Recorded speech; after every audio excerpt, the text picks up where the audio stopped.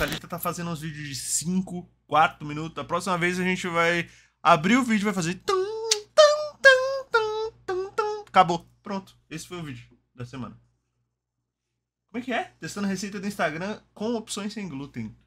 Oi, gente, tudo bom? Sempre que eu entro no Instagram, eu salvo algumas Tá receitas baixinho, pra né? fazer depois e eu vou hoje testar algumas com vocês. Ah, eu também salvo. Agora o que que eu faço?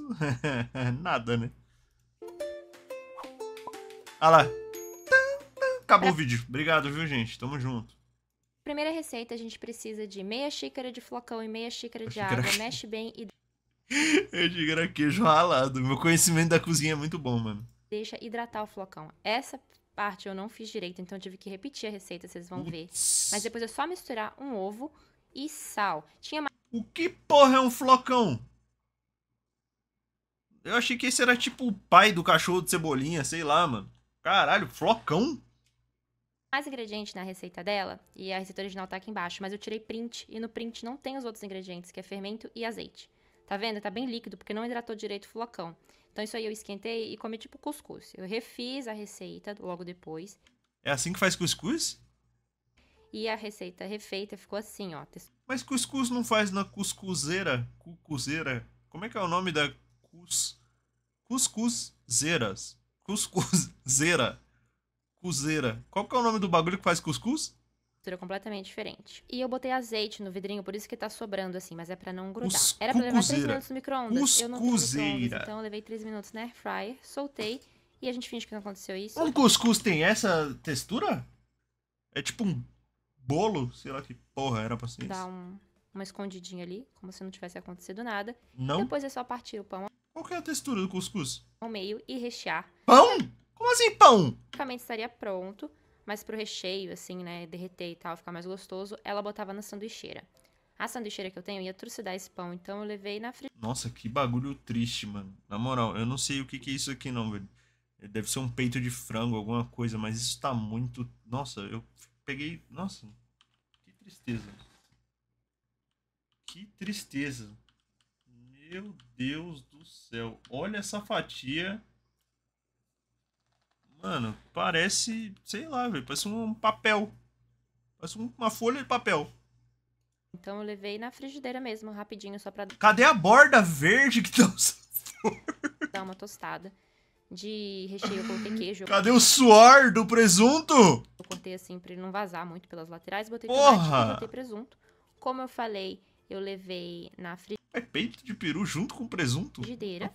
Esperei dar uma douradinha de cada lado. E essa receita, por algum motivo, me surpreendeu bastante. Eu adorei o sanduíche. É bem fácil de fazer, é rápido, com certeza é muito prático, principalmente se você tiver micro-ondas. Não sei, chat. Não sei.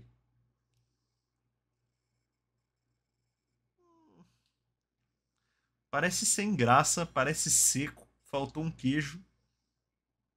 Não sei. Hum, Não me deu vontade, não. Não, nojo aí também chutou o balde, vai. Não é nojento, mas não deu vontade. A segunda Era o queijo? Era queijo? Que queijo? Aquele primeiro negócio sem alma era queijo?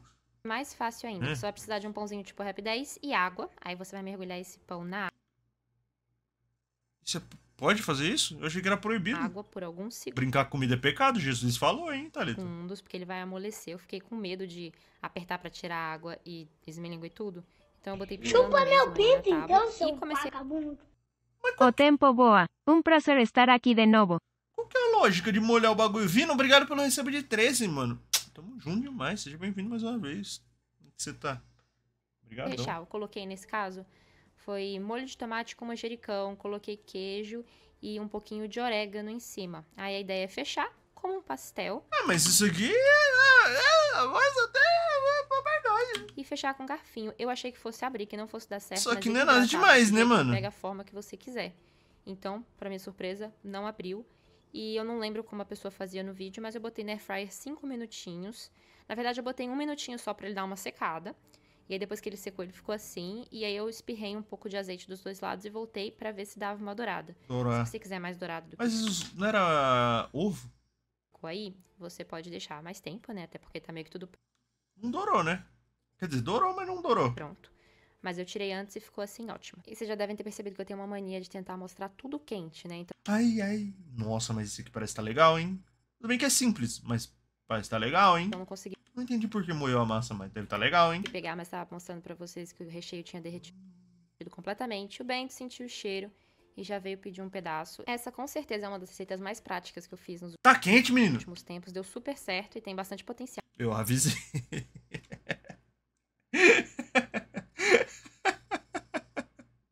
Eu avisei. Você não me ouviu, porra?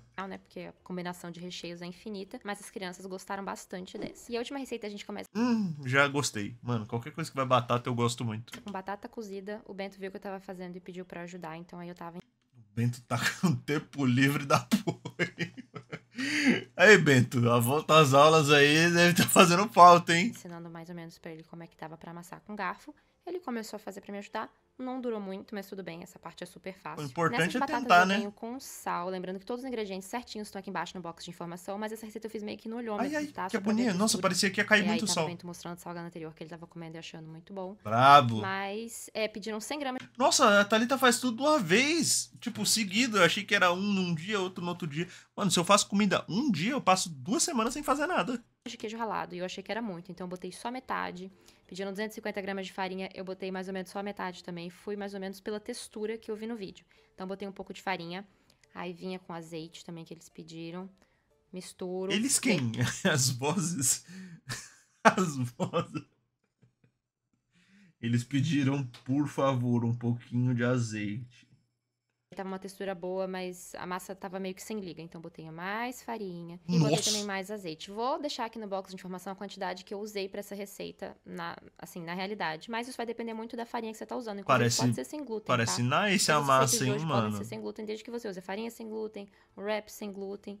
Então preste atenção na textura. Prestei. Essa massa não tem que descansar nem nada. Eu simplesmente botei uma quantidade, Hum. abri com o rolo sem deixar ela muito fina. E quando eu achei que tava com um tamanho legal, eu recheei. É o mesmo recheio de todos os salgados, tá, gente? É o que eu tenho em casa. Queijo, Mano, mas aí não fica repetitivo, só muda a massa? presunto. Peguei com a espátula pra fechar. Ixi. Por quê? Porque aqui tá, sei lá, quase 40 graus. Então só Ah, de uh! Caralho! tocar na massa com a minha mão, ela derrete. Como ela é muito assim, sensívelzinha, porque ela é de batata, eu resolvi pegar com a espátula e facilitar a minha vida, entendeu? Então fui passando daí pro Bom prato, frio. mas se tivesse frio o clima, seria muito mais fácil. A receita original pede que a gente faça esses salgados na panela, assim, na frigideira. Então eu fui fazendo, é, essa receita deu pra oito salgados, eu acho, e eu fiz Nossa, mas aí não dá nem pra metade na repetir, mano. Ainda mais a Thalita que tem quatro, quatro, cinco filhos, não lembro. Mas não dá pra repetir. Se bobear, não dá nem pra cada um comer. e a outra metade na frigideira com um pouquinho de azeite, como a receita pede. Então esse Parece que deu errado, mas esse aqui chama mais a minha atenção do que esse aqui. Esse aqui deve estar melhor do que esse aqui, na moral. Esse aqui tá muito sem graça, muito pálido. Esse aqui deve tá bom, mano. Esses mais tostadinhos da esquerda são os da panela e os outros dois da Ah. airfryer ficaram com o mesmo gosto, mais ou menos a mesma textura. Mais uma vez estava quente, então não consegui mostrar muito como é que tava. Eu achei o gosto desse salgado muito bom e achei ele fácil. Só que ele é basicamente uma refeição completa, ele pesa bastante, então eu não faria isso pra lanche de Mano, esse da, da não colou, não, mano. Esse ficou todo molenga, todo esquisito. Não ia no da Air Fryer, não, ia no da panela. Mas.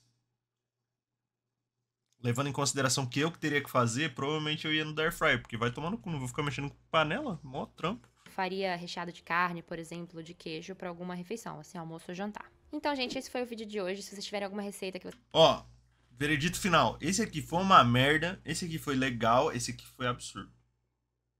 Concordam? Se não, discordem aí na casa de vocês, eu, vocês querem que eu teste, deixe aqui embaixo e a gente se vê no próximo vídeo. Tá me dando é fome, mas aí é porque. Fica aí, né? Minhas grandes palavras. Tamo junto.